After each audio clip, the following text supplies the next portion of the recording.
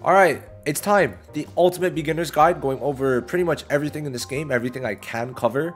This video is going to be long. I'm not ready to make it, but here we are. I'm going to have timestamps down below. I'm going to be explaining as best as I can everything for you guys. Now, it's going to be a long video, but if you finish this video, you should be pretty well knowledgeable about this game by the end. But if there's only certain parts you want to know about, then sure, go ahead if you want to discover this game for yourself. I recommend it. I think that's the best way to go. But in terms of summoning, I think that's the only thing you should really kind of listen to other people about if you haven't played the game yet. But if you play JP, then great. As we know, Global's coming out on the 30th for pretty much everyone. Kind of sucks not in India, but oh well. Now, JP is pretty much six months ahead. It's celebrating its half anniversary the minute Global comes out which is a pretty decent gap that could maybe be closed, but we're going to have to see. So global should have a lot of changes, but in terms of what I'm talking about, I don't think it's things that would get changed. I think what would get changed is maybe new content, and a lot of rewards. That's like two of the main things. And also maybe certain things of mages. So, you know, we'll, we'll talk about that. But except for that, all timestamps are down below. So let's just hop right into it. Now, Black Clover focuses on seasons in where every season will have a theme where season one is Clover Academy or school and then season two was summer. Now, for JP, it made more sense because it came out, guess when, in the summer, but over here, not as much because of the like four, five, six month delay. So that is something. Now, the seasonals are, what we call seasonals, right? Always come out at the beginning of a season. And then two weeks later, we get the pickup units of that season, the canon units. So the season, or sorry, the seasonal units are never really canon, right? Of course, they're actual units, but they're not from any particular part in story. And the pickups usually follow what's happening in story right now. Like, for example, we got chapter 5 with, with the start of the Seabed Temple, and then we also have Kiato and Kahono who came out, which are in that arc.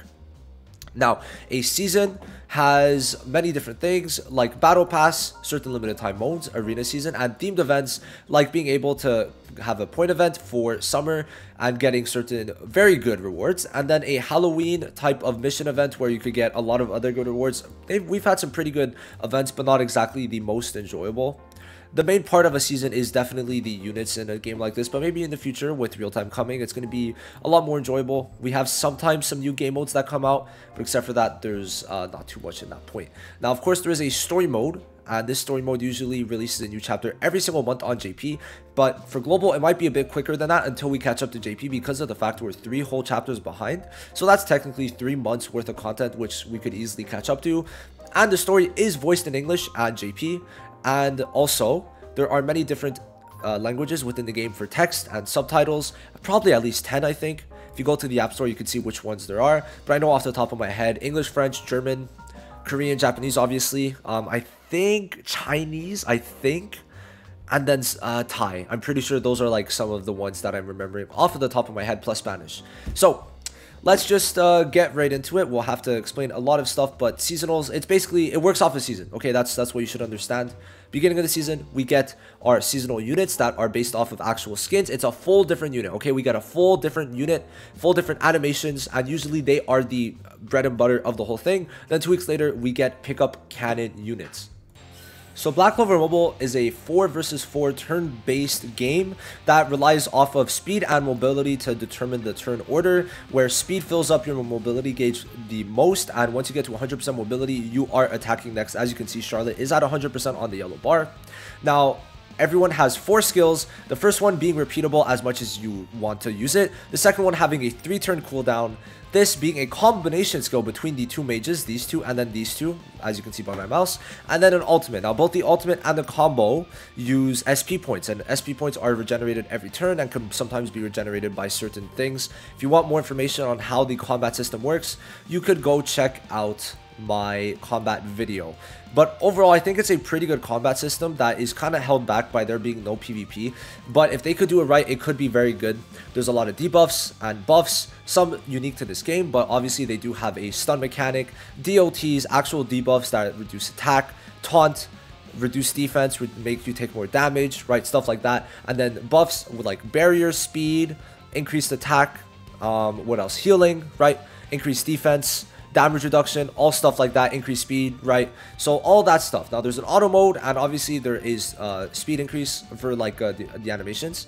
Now you're also able to either have full animations or completely cut. So let's say a full alt would obviously you know what it would look like, but if we're using just this, right, it's going to be cut halfway through. And yeah, that's basically it in terms of battling part, but um, if you want more information on that, then you go ahead and check out more stuff. But of course, there's five th there's five roles, three colors. There's attack, defender, healer, supporter, and I'm forgetting one, debuffer. Now, as for the colors, it's red, green, and blue, and type advantage and disadvantage usually play a pretty big role, giving 20% increased damage and crit rate, and obviously the opposite effect of 20% less damage and 10% less crit rate when you are type disadvantage. Obviously, blue beats red, red beats green, green beats blue.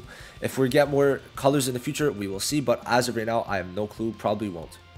So let's talk about most of the things on this menu. We'll talk about the skill pages and gear at a later part in this video, but to start off, there are three base rarities being Rare, SR, and SSR.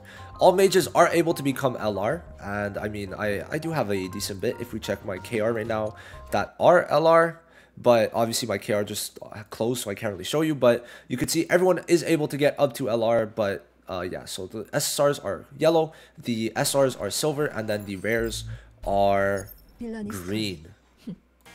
The max level is 100 for everyone. It's not like everyone, anyone, like any rarity has a different max level. And to get to that level 100, you will need to first rank up. So I'll show you what the rank up looks like. You'll need to rank up using shared mage pieces for either rare SR or SSR. And these can be gotten in many different ways from the shop, from bond, from limited time events, from, I mean, I don't know anything else, but like mainly just events and stuff like that. And then afterwards, you will need to be promoting the mage. So if we check it out, let me try to find it. But all right, so if you promote someone, you're gonna have to be at certain bond levels, which we'll talk about very pretty much right after this. And you, once you get to these bond levels, you will be allowed to promote them from SSR to UR and then UR to LR. Now, bond is the kind of affection system that is in the game. And basically, it's going to give you XP for the bond every time you use a mage. And certain stages like the patrol stages will be giving much more bond XP than other stages. And you must of course get to the certain levels as you can see here. For an SSR it's 4 to get to UR and 10 you must get to 10 to get to LR which kind of sucks. Only for mainly whales people who pulled dupes because before it used to be that you would have to just get 5 of the dupes that they would give throughout the bond system. But now it's just a bit different now there are 5 extra levels after getting to 10 now everyone at, at 10 gets the LR conditions. Uh, these 5 extra in total give you 390 sorry 380 but you get 410 total counting these three which is basically more than three pulls per unit. Every single unit gives you this amount of crystals which means you have access to more than like 200 pulls from just maxing every rare sr and ssr out. Now you also get very cool a skin at costume level or bond level 9 for everyone you will see the skins over here and yeah that's that's basically it some look good some look kind of mid, like this one. You're able to level up every single skill to level 5, and it will either increase the attack or the passive of the thing, as we see here. Level 2 increases the attack and magic attack, and then level 3 increases the taunting. So that's part of the passive. Now on the skills, you can also see that there's both attack and magic attack. There are two attack stats in this game and many more. But in terms of the stats, many are either built with attack or magic attack, where, for example, Asta has no magic, so he has only attack. And then someone like Langris has no attack, and then Yami obviously has more attack because he's physical. So see it like as a physical attack and then magic attack. So obviously someone like Finral is going to have more magic, then someone like Jack is going to have more physical attack. So you usually want to build them one or the other, but some are like kind of 50-50. But yeah, no, it's uh, it's one or the other usually, but they have the same percentages for both attack and magic attack on every single skill. That's kind of just how it is. It's a bit weird to understand, but you'll get used to it. Now then, there is an enhancement system where it is basically dupes. And these dupes obviously are going to be giving you more stats every time you get a dupe and you're able to either dupe them out through getting a dupe of the character or using these universal stones which you could get from either completing monthlies or also they have a special uh, beginner event which gives you three. So you get three free ssr dupes. And then there's also raids that you're able to get it from in the future. But actually it's gonna be pretty soon after global does come out i'm pretty sure Now, from this, you're going to be getting stats per level. You can see here which stats it gives. And then at dupe level 2, you're going to be getting the dupe passive. And then at dupe level 5, you're going to be increasing that dupe passive even further, usually doubling the percentage or adding even more. As we see, goes from 5 to 10%. And the last two usually give an extra third stat or maybe an extra fourth uh, stat, but they usually give an extra stat. Now, you see there is another passive too that you unlock when you get to LR. It is the unique passive. So it's basically a free passive. And then you got the LR, uh, sorry, the dupe passive with this one.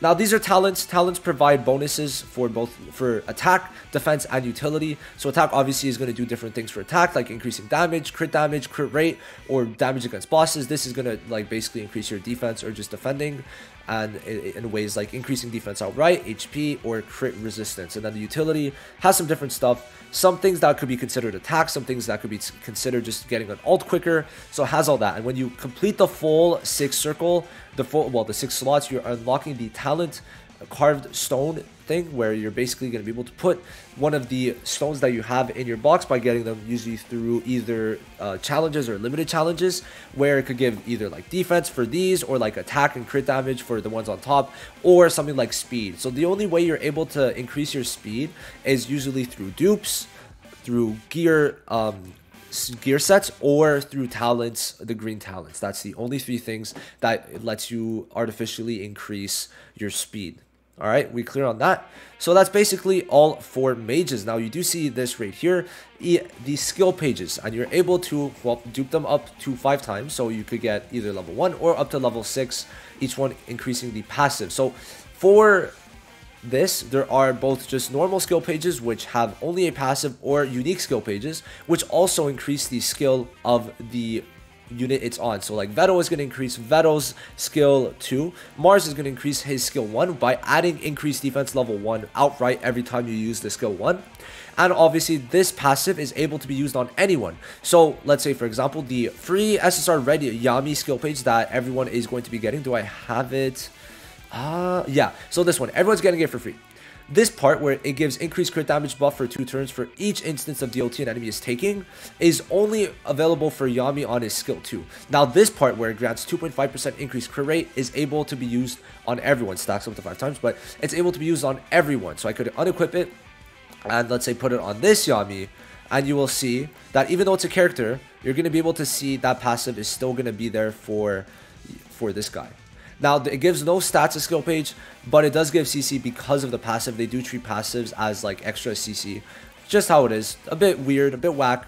But yeah, consider it the weapon of these games. Now, these don't really have any uniqueness to them. It's just the passive outright. You can see here, it's literally just that. There are some good ones, uh, definitely. Like this one is pretty good. And this one is pretty good. And this one against bosses, but that's essentially it. There's some others, but I'm not trying to go over everything. Now you are able to get some dupe stones for this for free. We've gotten two so far on JP through a certain raid, but no more. Now also there was a special banner where it was a step up and in 200 pulls, which you got two multis for free. Um, you get three universals three universal dupes for skill pages in 200 pulls. It's pretty good. People got like 10 plus dupes for skill pages that could be universally used.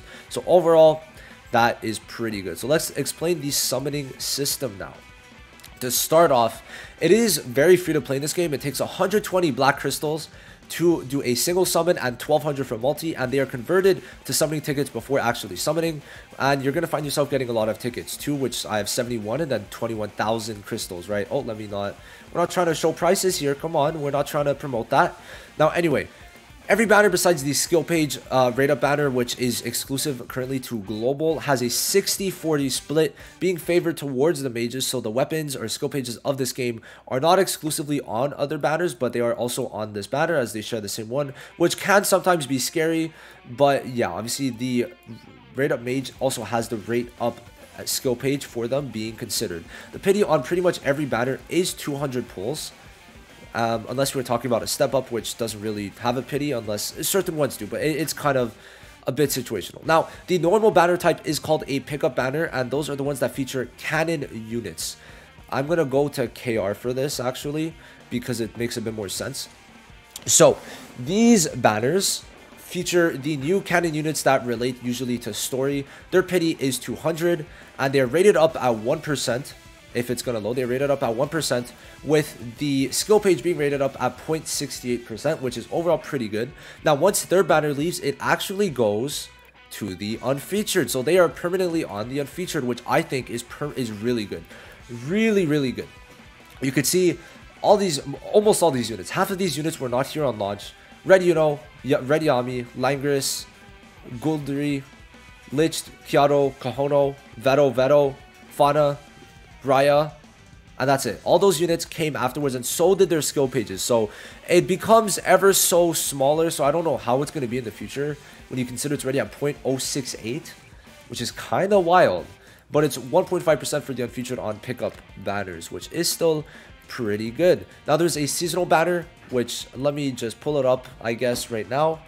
So seasonal banners are of course the seasonal units who have the skins on and are completely new units.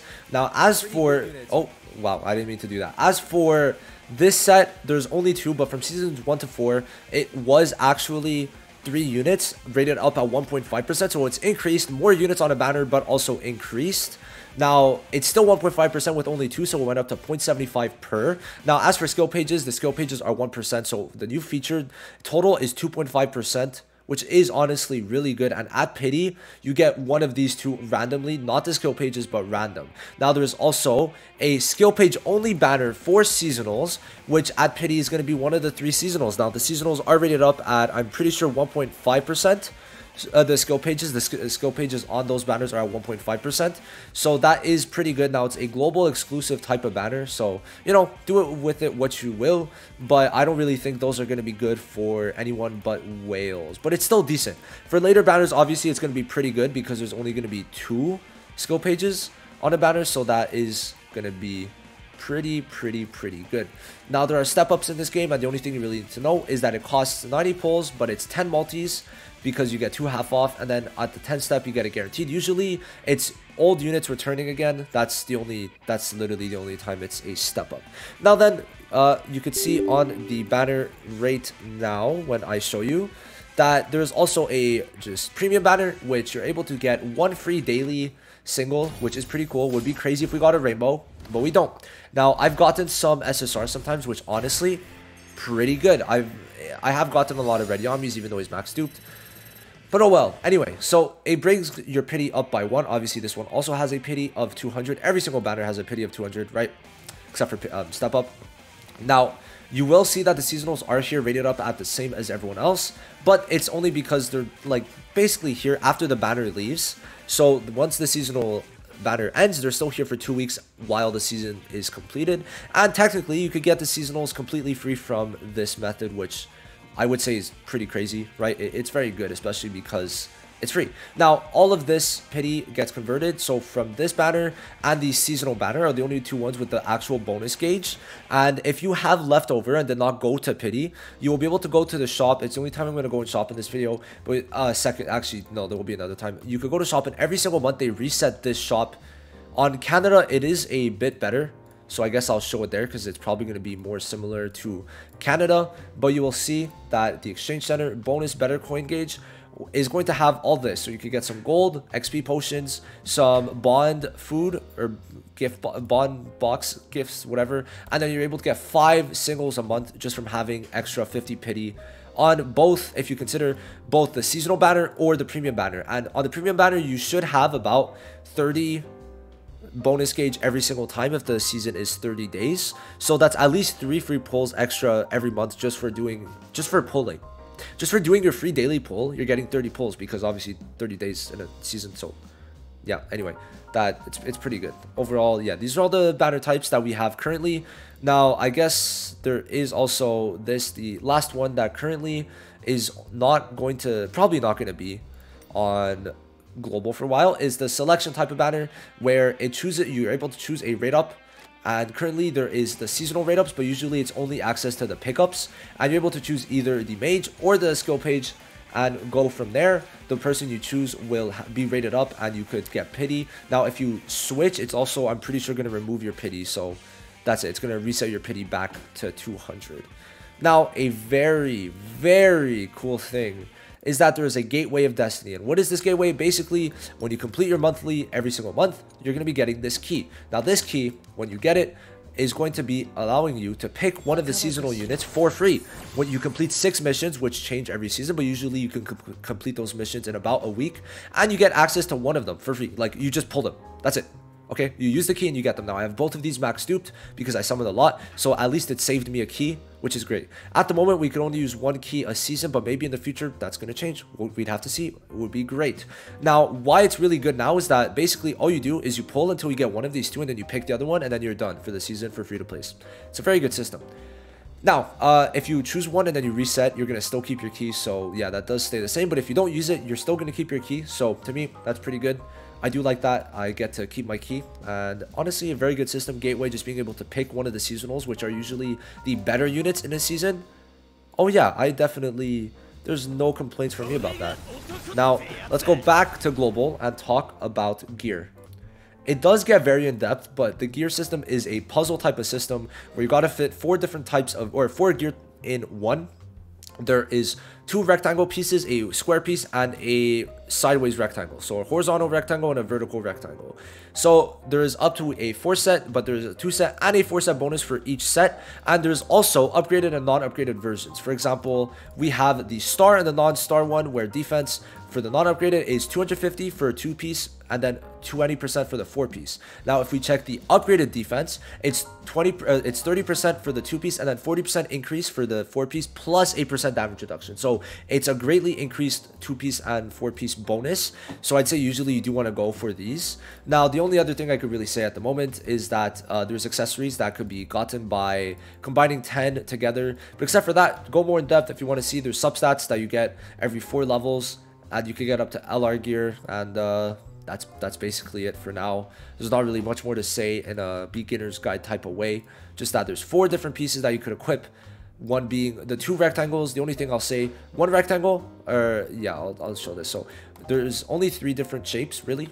One rectangle is for attack and one rectangle is for defense. The attack one could be either attack or magic attack, and then the defense one is just defense the HP one is, or this one is just HP, and then the square is either attack or magic attack for the main stats. The substats could be literally whatever stat there is except for speed. I'm pretty sure except for speed. Yeah, except for speed. Everything else could be a substat except for speed, which thank God it is like that. So it's possible it changes further, but there's daily, weekly, and monthly missions. Dailies, obviously you want to just complete them, and once you complete them, it will add both a day. Obviously you have to complete a certain amount of points. You don't have to complete every single daily. You could leave out one of them usually. Now, once you complete the daily, it's going to add a tick to the daily reward mission for both the weekly, which is only five days, but technically is a weekly, so you can complete it six times in a month. And then the monthly, which is 30 days, but we'll see how that goes. But anyway, uh, from the monthly, you do get a universal dupe plus the key that you need to get the free seasonal. And they give pretty good rewards the monthly, so that's pretty nice. Now, um, if you don't actually complete it in a month, it's not going to reset. Like, it only resets once you get the rewards. So, overall, it's pretty good. I do like it. I mean, you could leave for a month, come back, and like my friend here, he had 29 days on his monthly when he left and he came back and he got the seasonal key which i find is pretty funny. Plus a free ssr universal dupe so that's overall pretty good. Now the other type of missions is feats. So feats basically you complete basically anything. Like we see here collect certain amount of mages enhance mages flourish or just clear evergreen forests 1855 times enhance a skill page 60 times. Everyone will give you a certain amount of points, and then it's going to fill up a bar. And on the bar, you're able to get crystals, or if I go to the KR side, I have it here too. On the KR side, it would be shared mage pieces. So you could get both shared mage pieces to rank up units, not promote, to rank up, or crystals from the top reward. Now, from the bottom, you could get pretty much anything, right? So it's just, it's like that. Basically how it is for missions, right? Now, if we go to arena, let's head to arena. So, so far we've done mages, we've done summoning, we've done feats and missions. So now we're starting to get to the more bottom part of this area. So arena. Arena is the main content that people really push towards because it's just the only thing with an actual ranking system. Now, you do not fight actual players' teams. Real-time PvP is coming later.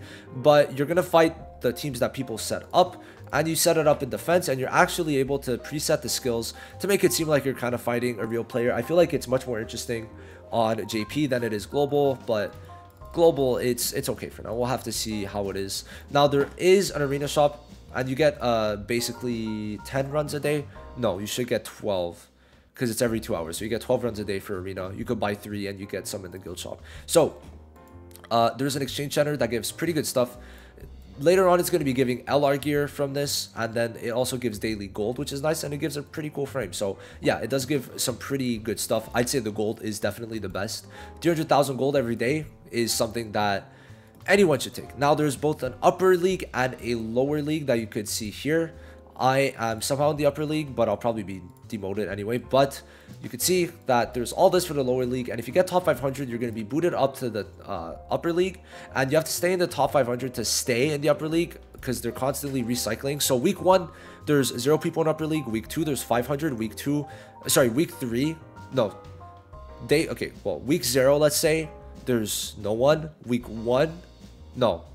Week one, there's zero people in upper. Week two, there's 500 week three, there's a thousand, and then afterwards 500 people get booted off. Okay, now it also has a seasonal reward and a weekly reward. You can see here there's weekly rewards and there's also one-time rewards if you just hit the rank, and then there's a seasonal reward that you're gonna see here. It doesn't give that much, but it's basically a reward you get once a season, and that's basically it.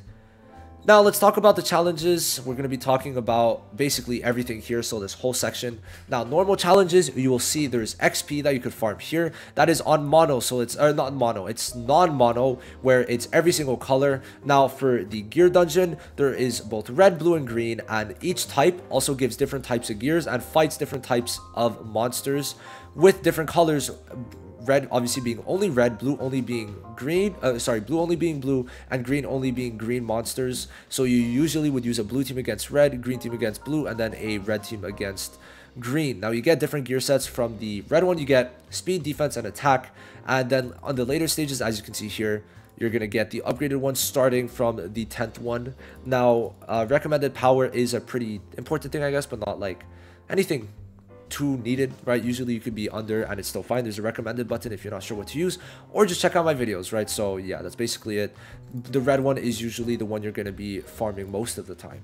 Then you've got this, which is basically just giving you gear upgrade materials and some substat upgrade materials which eh, that's literally all it gives nothing too crazy then this is going to be what you use or what you're going to be grinding to unlock talents so i want to quickly very quickly just because i think it's the best time to explain it go over to KR and explain a couple different things. So you're going to see certain menus when global comes out much more. This is going to allow you to auto repeat as many times and you could go up to 50 by times 1 and by times 3 which means you could do 150 runs but every run is going to give you triple the rewards for triple the stamina. Now there's a dispatch system where um, no matter like how strong your units are usually i'm pretty strong global it's going to be you have to be higher than the cc requirements. If you just put it to 50 and you press ok well guess what you're just going to be able to get, after an hour 40, all 50 grinded runs right away.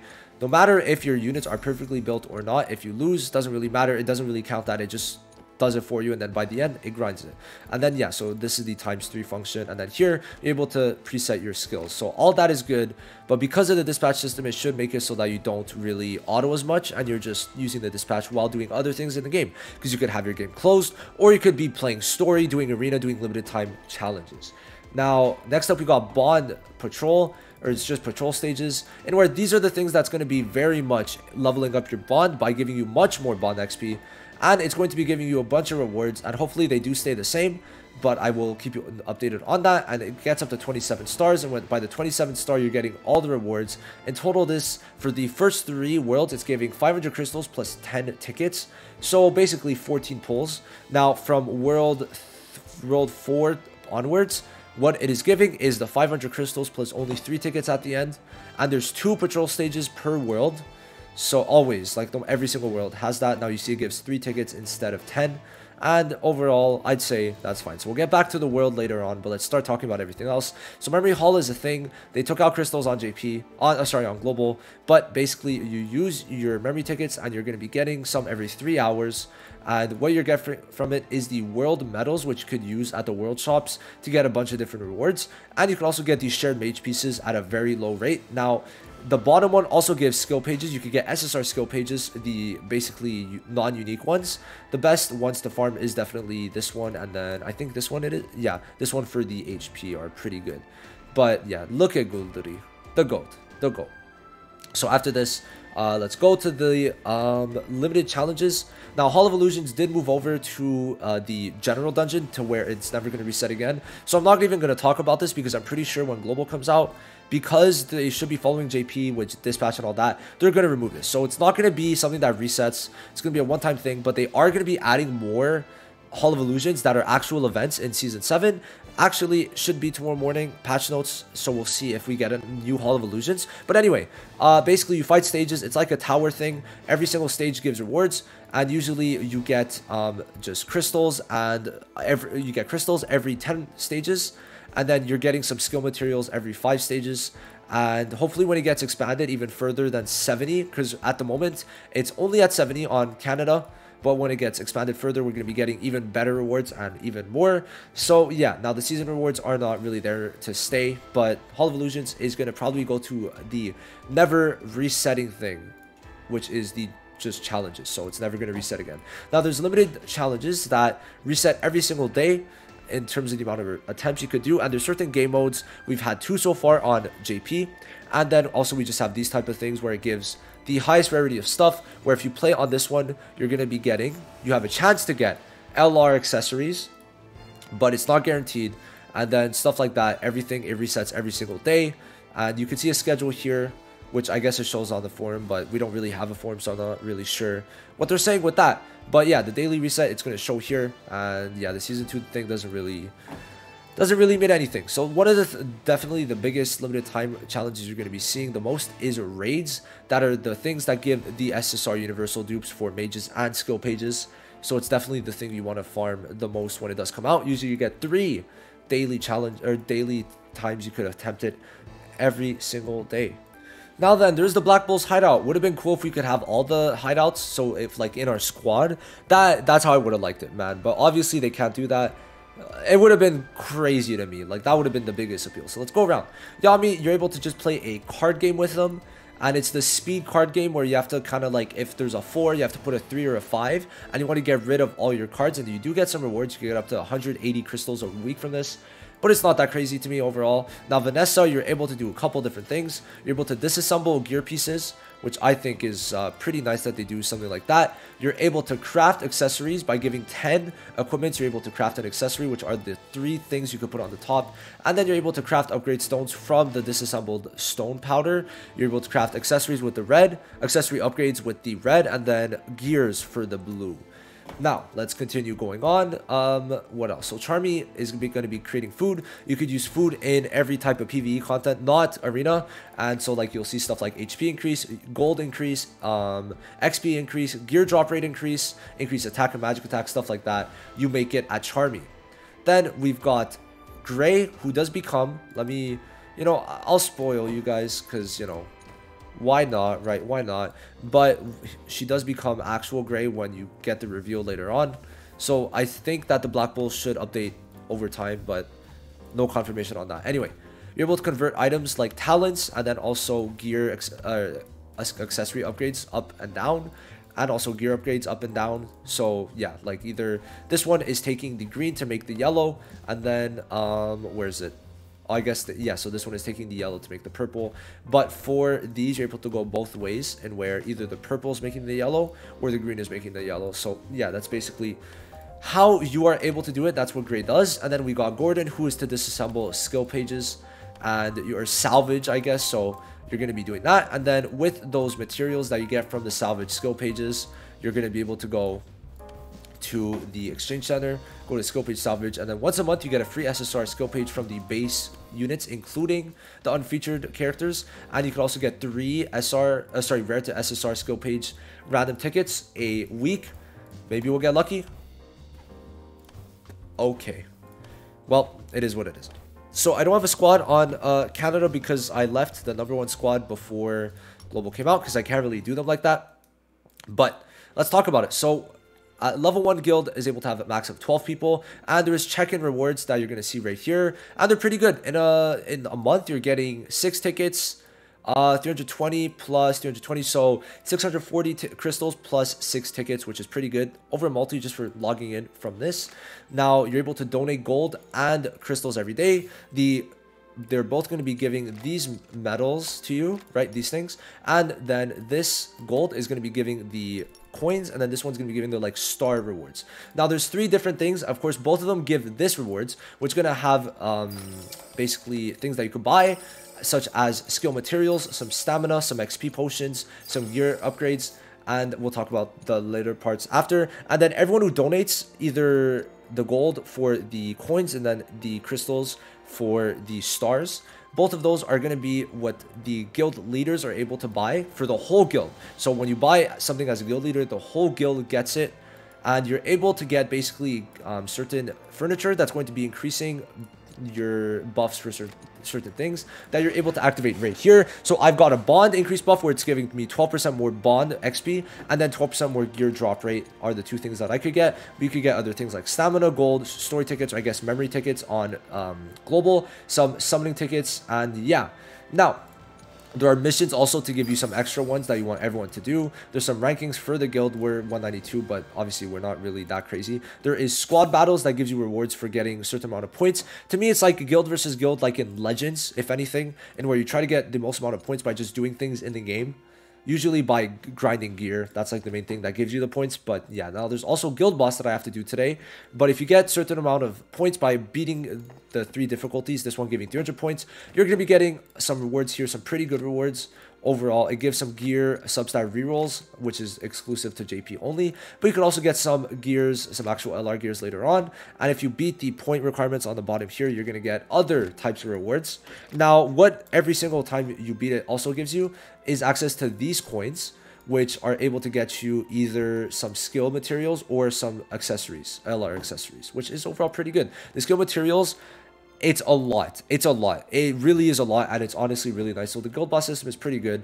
And then the decorations is just showing the furniture, like what you could equip to give the buffs. Now the buffs themselves last 30 minutes each. You could equip it three times a day, and it's like exclusive to everyone. So like I could do this, and then someone else is also able to do it their own three times. Now the last thing we really got to talk about, we're gonna head back over to Canada, is just the overworld and also story. So of course we get one story chapter usually a month. You could check here how what the rewards are. For the first you get 300 crystals per and then for 3 to 5 you're getting uh, 1200 crystals. So a multi once you complete the chapter. There's different episodes. You could watch the cutscenes again and in the overworld you can see what you're able to do so you're able to get memory shards which is going to give you a skill page and starting from chapter 5 you're actually getting an ssr skill page when you complete this so it's going to show you where you could get them here now there's citizens requests which are like sub quests that actually give 60 crystals per character so that's 60 120 180 240 300 360 crystals right there which overall is pretty good now you're also able to fish,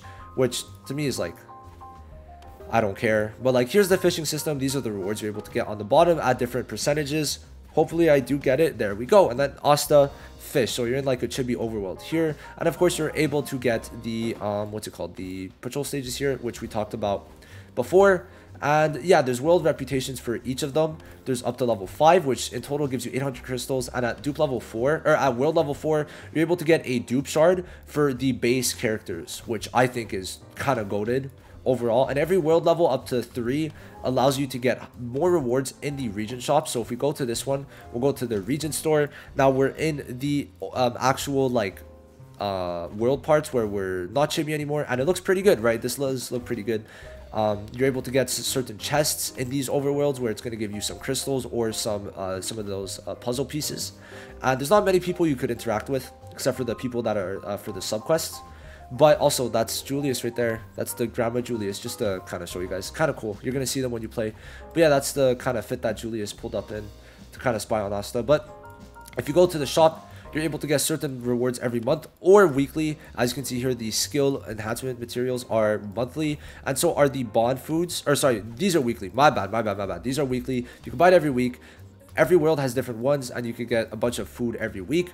If you don't want to like go every time to the world to see what they have, you could just press the shop and it's going to show you what's out or what's in and what you have access to and what you could sell but i don't really think you should be selling. So yeah, story does come out every single month usually uh, when they have a consistent schedule on JP. So when global does come out, it should be like that. We basically went over everything if I'm just looking at it. That's the beginner's guide. 40 minutes. It, it's a lot, right? Now in the overworld, you could also, the last thing I could say is you could explore. You could explore. Um, let me try to find it. What I mean. Okay, so you could do things like this where you could pick stuff up and this is counting as exploring. So besides that, we'll just do a miscellaneous right now.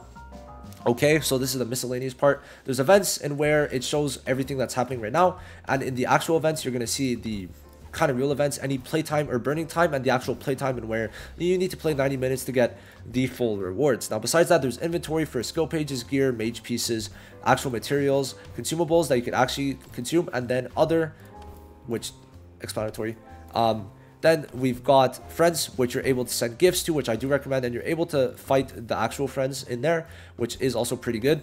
Now there's the shop, which all this is for the shop. Then there's mage pieces where you could use your dupes to actually get stuff out of it, like stamina skip tickets, the shared mage pieces, and some bond boxes. Then there's general that uses gold and crystals, and here it's the special ones. Okay, now what else am I missing? Um, really is only glossary. You could see everything that's in the game you're able to use the mages even if you don't have them you're able to see. And also if you press this icon you could kind of go up and see their max stats and what they get from being duped out. So that's all pretty good. Game's cool. Um i hope you guys like the game. I've made like over 500 500 vids on it. I've tweeted a bit too many times on my news twitter account and uh yeah that's that's basically it. I hope this helped you guys even understand the game a bit more. Hey man in 40 minutes it should have it should have. So let's finish this off by doing a celebratory single, not a multi. Y'all are crazy.